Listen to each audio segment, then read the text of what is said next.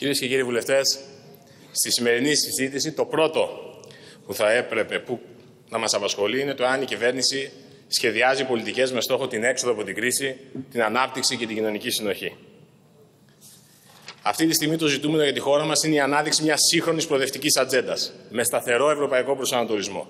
Στόχος η παραγωγική ανασυγκρότηση της χώρας και η περαιτέρω ανάπτυξη τομέων και κλάδων που η χώρα έχει συγκριτικά πλεονεκτήματα.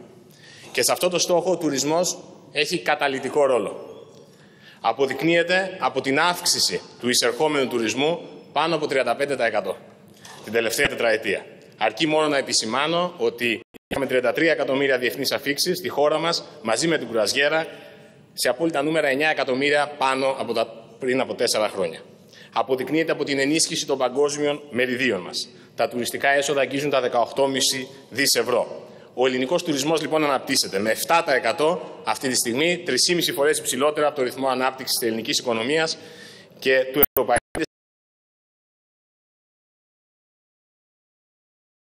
στα 37,5 δισεκατομμύρια ευρώ. Επιπλέον κινητοποιούνται οι τουριστικές επενδύσεις. Στόχος μας είναι να στηριχθεί η μικρομεσαία τουριστική με το ΕΣΠΑ, μεταξύ άλλων με το ΕΣΠΑ και τα χρηματοδοτικά του εργαλεία. Είναι επίσης στρατηγική προτεραιότητα η ανάπτυξη της ελληνικής κουραζιέρας και η καθιέρωση της Ελλάδας σε κεντρική δύναμη στο θαλάσσιο τουρισμό στην Ανατολική Μεσόγειο. Σε δύσκολες συνθήκες για τη χώρα, ο ελληνικός τουρισμός είναι ο πρώτος κλάδος που ανακάμπτει. Είναι ένα ηχηρό μήνυμα ότι η χώρα μας μπορεί να τα καταφέρει. Σήμερα βάζουμε τον πύχη ακόμα πιο ψηλά και μάλιστα σε μια κρίσιμη περίοδο για τη χώρα, μπροστά είναι η τουριστική σεζόν. Στόχος μας για το επόμενο χρονικό διάστημα είναι να έχουμε ακόμη καλύτερα αποτελέσματα από τις προηγούμενες χρονιές. Να διασφαλίσουμε ένα ολοκληρωμένο σχέδιο για την επόμενη μέρα, αλλά και για τα επόμενα χρόνια του ελληνικού τουρισμού. Με στόχο την επανακίνηση της οικονομίας με όρους βιώσιμης ανάπτυξης και με τις απαραίτητες συνέργειες. Με σχεδιασμό της τουριστικής προβολής στη βάση πορισμάτων ερευνών αγοράς και σχεδίων marketing. Με αξιοποίηση των ευκαιριών που δημιουργούνται μέσα από τον αναπτυξιακό σχεδιασμό για τον τουρισμό με προτεραιότητα τη στήριξη των μικρομεσαίων επιχειρήσεων και των επαγγελματιών, που αποτελούσαν πάντοτε την ψυχή του ελληνικού τουρισμού. Με ανάπτυξη όλων των ειδών του θεματικού τουρισμού και των εναλλακτικών μορφών, σε συνδυασμό με την προσπάθεια για τουριστική περίοδο όλο το χρόνο, με τις απαραίτητες συνέργειες με περιφέρειες, δήμους και επιμελητήρια. Με στόχευση την ενσωμάτωση στο τουριστικό προϊόν των πολιτιστικών στοιχείων της κάθε περιοχής, με προώθηση του αγροτουρισμού και της διασύνδεσης πρωτογενής παραγωγής με τον τουρισμό, με άμεση σύνδεση του τουρισμού με τις ανάγκες του περιβάλλοντος. Αποτελεί ένα από τους βασικούς πυλώνες της οικονομίας και βασικούς πυλώνες για την κοινωνική συνοχή. Τα θετικά μέτρα που ανακοίνωσε ο Πρωθυπουργός τις προηγούμενες ημέρες θα αυξήσουν ακόμη περισσότερο τη δυναμική του τουρισμού. Και αναφέρομαι πρώτα στα συγκεκριμένα.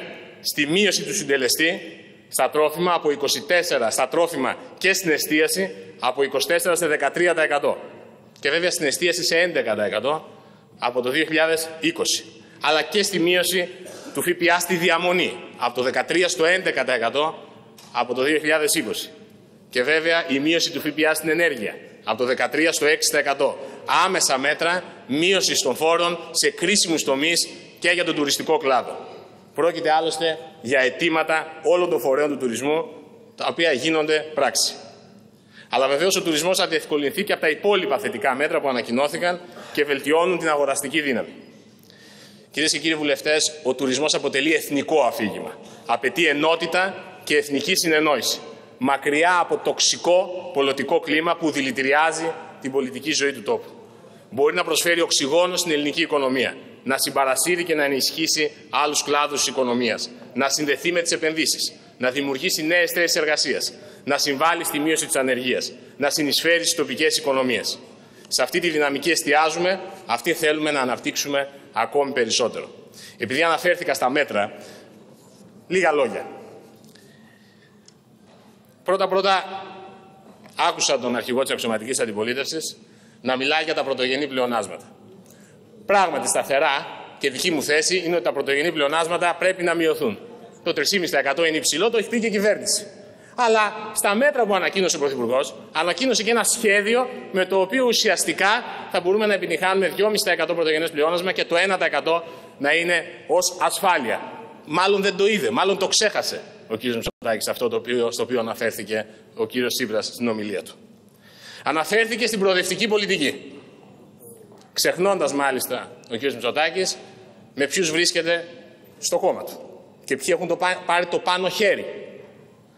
Και βεβαίως αναφέρθηκε και στο αφορολόγητο. Εδώ πραγματικά έχω μία απορία. Να προχωρούμε με μονομερείς ενέργειες ή να προχωρούμε με διαπραγμάτευση έτσι ώστε να επιτυχάνουμε τους στόχους στη χώρα μας; Γιατί αν προχωρούμε με διαπραγμάτευση αποτελεσματική, τότε αυτά τα οποία ανακοινώθηκαν τις προηγούμενες ημέρες αποτελούν στοιχεία μιας νέας οικονομικής πολιτικής που και τους φόρους μειώνουν, αλλά και δίνουν ανάσα. Συνεπώς, ναι, βεβαίως και χρειάζεται να μην εφαρμοστεί η μείωση του αφορολόγητου, αλλά αυτό θα πρέπει να γίνει με την κατάλληλη διαπραγμάτευση την ώρα που πρέπει να γίνει. Και βεβαίως, γιατί ακούω διάφορες φωνές, τα μέτρα είναι μόνιμου χαρακτήρα, δεν είναι προσωρινού χαρακτήρα. Είτε για το 2019, είτε για το 2020. Και αφορούν και αναπτυξιακούς στόχους μέσω και της μείωσης φορολογίας, αλλά και άμεσους στόχους όπως είναι το ποσό το οποίο θα δοθεί ως 13η σύνταξη στους ε, ανθρώπους και οι οποίοι το χρειάζονται, γιατί δεν έχω καταλάβει και εδώ την κριτική η οποία γίνεται. Βέβαια και για το 2020, η κατάργηση της εισφοράς αλληλεγγύης, η αύξηση του 150% του συντελεστή της απόσβεση των επενδύσεων, η επιδότηση των ασφαλιστικών εισφορών για τους νέους, οι φορολογικές μειώσεις για τους κατοίκους των νησιών, η μείωση του κόστους για το πετρέλαιο θέρμανσης, για τους συνεταιρισμούς, σταθερή επιδίωξη όσων ασχολούνται στον αγροτικό κλάδο, η μείωση των φόρων και η ενίσχυση όσων ασχολούνται με συλλογικές δράσεις παραγωγής. Και πολλά άλλα. Θα μου επιτρέψετε όμως τώρα, μετά από την αναφορά μου στον τουρισμό και στην ελληνική οικονομία, διότι όλες αυτές τις μέρες βλέπουμε μια προπαγάνδα και έναν κυτρινισμό που δυστυχώς αναπτύσσεται και βεβαίως και από χείλη πολιτικών και κυρίως εξωματικής αντιπολίτευσης, θέλω να σας πω τα εξής. Τη Δευτέρα το απόγευμα κατατέθηκε μια πρόταση μομφής. Ο κ. Μητσοτάκης στην ομιλία του μάλιστα είπε δεν είναι εδώ ο νέος Υπουργός Τουρισμού. Και αναφέρθηκε προσωπικά με συγκεκριμένους χαρακτηρισμούς στην σύμπλευση των αριστερών προοδευτικών δυνάμεων την οποία έχουμε αποφασίσει σε όλα τα επίπεδα.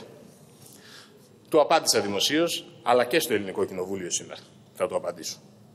Διότι αναφέρθηκε σε μένα λέγοντας ότι έχω αλλάξει τρία κόμματα. Εγώ είμαι σε ένα κόμμα κύριε Μητσοτάκη, είμαι στη Δημοκρατική Αριστερά. Και συνεργάστηκα με το Πασό και με το κίνημα αλλαγής. Και όταν το Πασό και το κίνημα αλλαγής αποφάσισε να, μην, να πάρει οριστικά το δρόμο προς τα δεξιά και όχι προς τα, αριστερά, προς τα αριστερά, όχι προς το Σάντσεθ, αλλά προς την στρατηγική σύμπλευση στα δεξιά, συνεργαζόμαστε με την ριζοσπαστική αριστερά. Να σας πω κάτι. Και η συνεργασία αυτών των χώρων είναι η θέση μας, αν α, απεμπλέκονται από τις ε, δεξιές πολιτικές. Όλου αυτού του χώρου. Του όμορου χώρου. Σοσιαλδημοκρατία, ανανεωτική αριστερά, ριζοσπαστική αριστερά.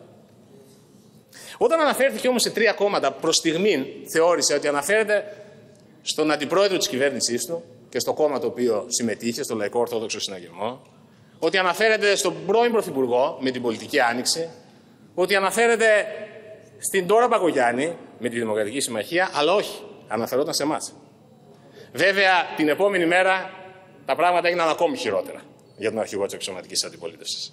Διότι την επόμενη μέρα έκανε την έκτη του μεταγραφή, αυτή την περίοδο στη Βουλή, την έκτη του μεταγραφή, με τον κύριο Ψαριανό, ο οποίος έχει αλλάξει πέντε κόμματα όλη αυτή την περίοδο. Από το ΣΥΡΙΖΑ, στη Δημάρ, στο Ποτάμι, μαζί με το Κινάλ και τώρα στη Νέα Δημοκρατία. Από το ΣΥΡΙΖΑ στη Νέα Δημοκρατία.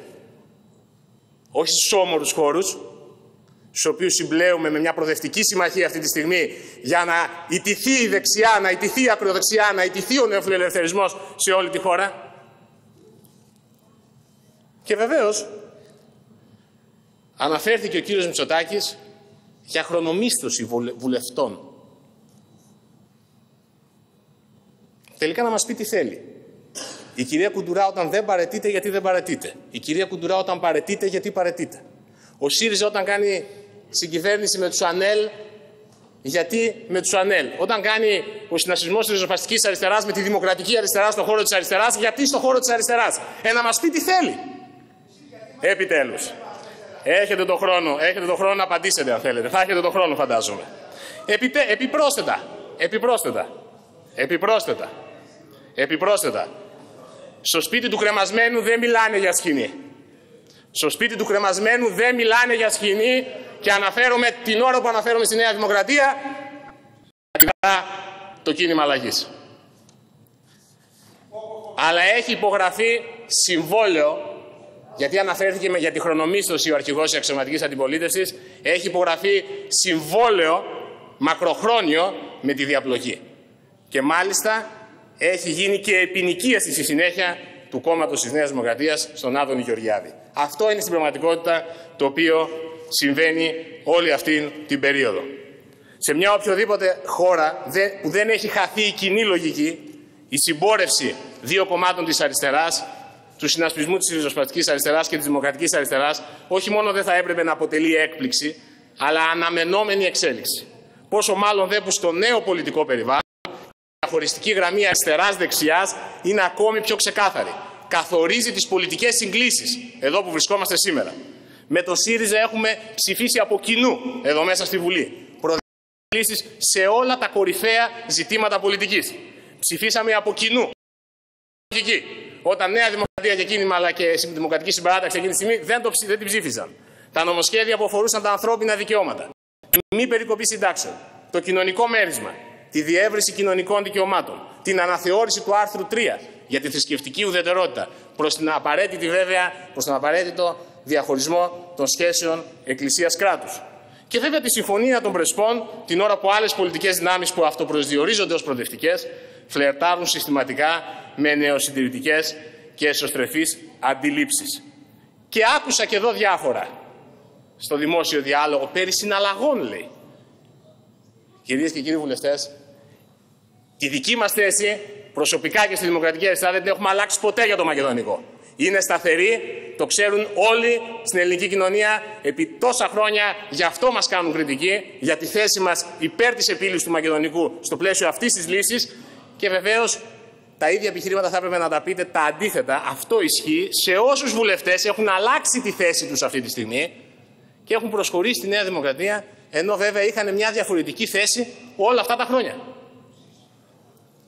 Σε κάθε χώρα πάντως το στίχημα το ποιες, πώς και με ποια συμμαχία δυνάμεις θα εκφράσουν την πλειοψηφία του προοδευτικού χώρου είναι ανοιχτό. Στη χώρα μας η απάντηση με τις τελευταίες εξελίξεις, το άνοιγμα του Αλέξη Τσίπρας στην Προοδευτική Συμμαχία και το οριστικό, η οριστική διασύνδεση του κινήματος αλλαγής με τη Νέα Δημοκρατία έχει δοθεί. Η πλειοψηφία των προοδευτικών πολιτών θα απαντήσει στις επόμενες εκλογές με το σχήμα ΣΥΡΙΖΑ Προοδευτική Συμμαχία. Από την πλευρά μας επιλέξαμε να μείνουμε σταθεροί στο δρόμο της ανασυγκρότησης προοδευτικής παράταξης.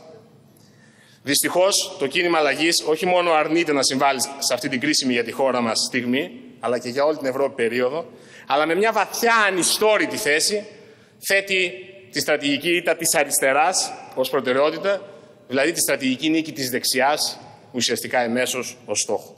Εξελίχθηκε σε ένα περίκλειστο κόμμα μακριά από τους προσανατολισμούς ακόμα και της ίδιας Ευρωπαϊκής Σοσιαλδημοκρατίας. Έχει επιλέξει οριστικά τη στρατηγική συμπόρευση με τη δεξιά, τη Νέα Δημοκρατία και το γεγονός αυτό, όπως σας είπα ήδη, αποδεικνύεται από όλα τα κορυφαία ζητήματα πολιτικής. Η Νέα Δημοκρατία, δυστυχώς για τη χώρα, διολυσταίνει σε όλο και πιο σκληρές δεξιές απόψεις. Τόσο στα εθνικά θέματα, όσο και σε θέματα οικονομίας, λειτουργίας του κράτους και ανθρωπίνων δικαιωμάτων. Η απάντηση των αριστερών προοδευτικών δυνάμεων οφείλει να είναι άμεση και αποτελεσματική, με μια ισχυρή προοδευτική συμμαχία απέναντι στον νεοφιλελευθερισμό και την ακροδεξιά, απέναντι στις συντηρητικές δυνάμεις με προώθηση πολιτικών ενίσχυσης της κοινωνικής δικαιοσύνης, των εργασιακών δικαιωμάτων, ανασυγκρότησης του κοινωνικού κράτους. Στο πλαίσιο, στο πλαίσιο αυτό, η συμπόρευση των προοδευτικών και αριστερών δυνάμεων του τόπου είναι γεγονός. Σηματοδοτεί την αποφασιστικότητα όλων μας να προωθηθεί από εδώ και στο εξής η προοδευτική συμμαχία σε όλα τα επίπεδα και στο πεδίο της εφαρμοσμένης πολιτικής. Και κυρίως την προσήλωση όλων μας σε μια προοδευτική συμμαχία των δυνάμεων της αριστεράς, της σοσιαλδημοκρατίας που απεγκλωβίζεται από συντηρητικές πολιτικές της πολιτικής οικολογίας. Τα όσα έχουν διαδραματιστεί το τελευταίο χρονικό διάστημα στη χώρα μας με την έξαρση ενός νέου εθνολαϊκισμού έφεραν στο προσκήνιο με τον πιο έντονο τρόπο τις διαχωριστικές γραμμές μεταξύ προόδου και συντήρησης. Ταυτοχρόνως η αποχώρηση των ΑΝΕΛ και του Πάνου Καμένου από την κυβέρνηση άνοιξε το δρόμο για μια κυβέρνηση αριστεράς, χωρίς αλλοιώσεις φυσιογνωμίας σε βασικά θέματα όπως ήταν τα ανθρώπινα δικαιώματα και τα ζητήματα της εξωτερικής πολιτικής.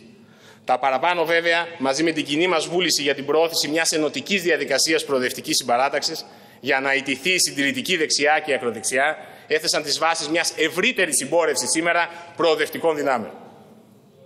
Γιατί για να βγει η χώρα από την κρίση, χρειάζονται πολλά να γίνουν ακόμα και κυρίως να προωθηθεί μια πραγματικά προοδευτική ατζέντα σε όλους τους τομείς πολιτικής. Γι' αυτό αναλαμβάνουμε ευθύνες στα δύσκολα. Γιατί πάντοτε η αριστερά ήταν για τα δύσκολα, δεν ήταν για τα εύκολα. Γι' αυτό αφήσαμε στην άκρη υπαρκτές διαφορές μας για το παρελθόν και για πολιτικές που ασκήθηκαν. Αυτό που μας ενώνει είναι το παρόν και το μέλλον για την ανάγκη ανάδειξης μιας προοδευτικής ταυτότητας με ισχυρό κοινωνικό πρόσημο. Και είναι πολύ περισσότερα αυτά που μας ενώνουν από διαφορές μας που είχαμε στο παρελθόν. Μια σύγχρονη αριστερή πρόταση διακυβέρνησης σε Ελλάδα και Ευρώπη είναι αναγκαία σήμερα. Παρακολουθώ επίσης και κλείνω, κύριε Πρόεδρε, ότι αυτή η προσπάθεια κίτρινων πολλές φορές μέσων μαζί με, δυστυχώς με την αξιωματική αντιπολίτευση για τη δολοφονία χαρακτήρων η οποία έχει συντελεστεί τις τελευταίες ημέρες για συγκεκριμένα πρόσωπα που κάποια στιγμή προσπάθησα να καταλάβω τι συμβαίνει όταν είδα εδώ τον αρχηγό της αξιωματικής αντιπολίτευσης να κάνει αυτή την επίθεση πλέον και σε, στον πατέρα του Πρωθυπουργού που δεν ζει, κατάλαβα ότι πλέον δεν έχει νόημα. Έχει, ε, η επιστήμη σηκώνει τα χέρια ψηλά σε αυτή την πολιτική αντιπαράθεση. Θα σας έλεγα για αυτό που έγινε προς εμένα αυτή τη βδομάδα ή προς άλλα στελέχη της κυβέρνησης. Αλλά όταν φτάνει στο σημείο να γίνεται προς νεκρούς, νομίζω ότι παίρνει μια άλλη διάσταση. Κύριε Υπουργέ. Τελειώνοντας λοιπόν, κύριε Πρόεδρε, έχουν διαμορφωθεί εντελώς νέες πολιτικές συνθήκες εντός του 2019. Έχουν διαμορφωθεί οριστικά δύο ισχυροί πόλοι, ο προοδευτικός και ο συντηρητικός. Και χρέος όλων μας, των προοδευτικών πολιτών, των προοδευτικών πολιτικών, είναι να κάνουμε το παν για να μην έρθει δεξιά. Να μην έρθει η σκληρή δεξιά με συντηρητικές θέσεις στη διακυβέρνηση της χώρας. Και αυτό δεν θα το επιτρέψουμε. Σας ευχαριστώ πολύ. Πριν δώσω το λόγο στον επόμενο ομιλητή εκ του καταλόγου,